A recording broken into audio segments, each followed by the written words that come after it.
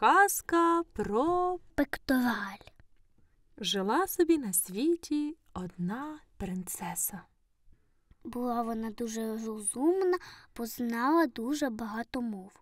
От одного разу до її країни прийшли два грабіжники.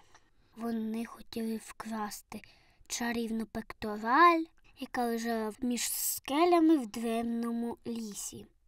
Сиділи грабіжники в кафе, розмовляли про свої плани викрадення скарбу, бо їх цар пообіцяв їм за пектораль багато грошей. У тому кафе був офіціант, який запідозрив чоловіків і приніс їм вина снодійного. Грабіжники заснули. А офіціант швидко побіг до принцеси, аби доповісти, що сталося. Принцеса забрала їх в темницю, і коли вони проснулись, вона розпитала їх, що роблять у її країні. Грабіжники здивувалися, звідки вона знає їх мову, і вони мусили признатися, що шукають чарівну пектораль. Принцеса і сама зацікавилася тим, бо ніколи про неї не чула. Вона пообіцяла відправити їх разом зі своїми слугами, У той ліс, де скелі. поки слуги займалися кіньми Злодії знайшли пектораль і втекли в інший бік лісу. спочатку до поля, а потім до моря. Ой на морі, на морі стоїть камінь муровий. А на тому каменьові стоїть хлопець чорнобровий, а на тому каменьові чорнобровий. Коли це на кораблі стоїть чорнобровий хлопець, грабіжники вскочили в корабель і попливли з ним світ за очі. Ще на кораблі була величезна криса. От вона погризла їх рюкзак, поки ти злодії в ресторані їли. А з рюкзака через дірку світився шматок пекторалі.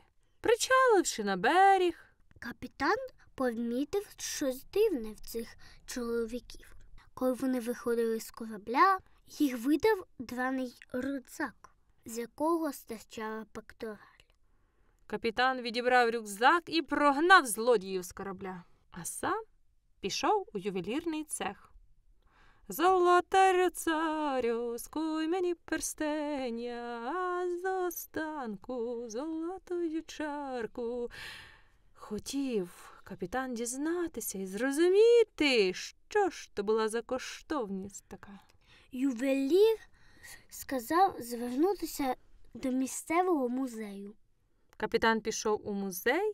а там історики почали просити його. Віддайте цю річ. Вона цінна.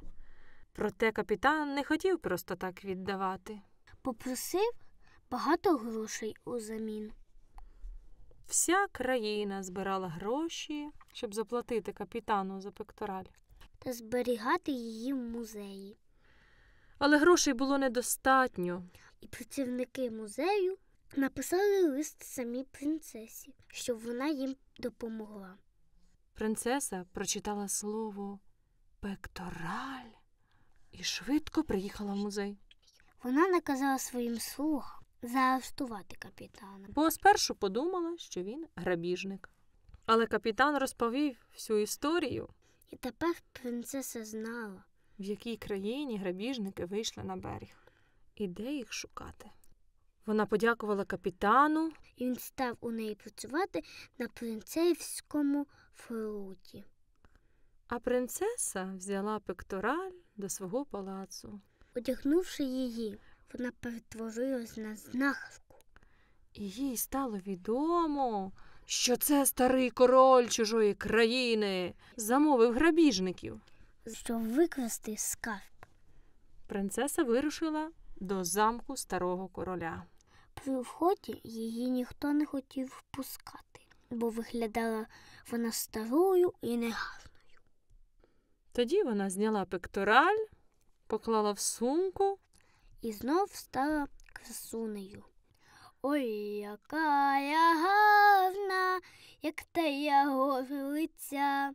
Наймися у ступить, гей, гой, наймися у ступить, гей, гой, наймися у ступить, спутя парадниця. Слуги пустили красуню до короля.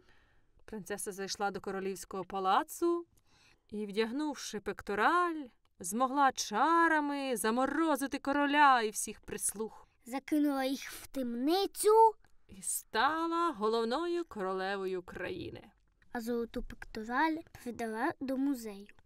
щоб всі нею пишались і знали свою історію. А король той став прислугою принцеси королеви.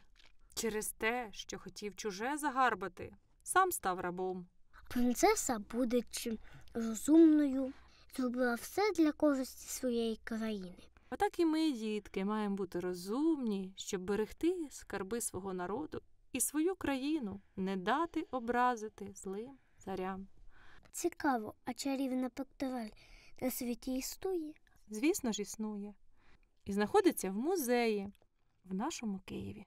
Як тебе не любити, Києве мій. Тож бережімо свою історію, бережімо свої цінності. І співаємо українські пісні, щоб допомагати рідній країні. О, Україно, о, любаненько, тобі вірненько присягне серця кров і любов, все тобі віддати в боротьбі за Україну, за її волю, за честь, за славу, за народ. До нових зустрічей! Вам бажають всього найкращого. Писульки від мамульки.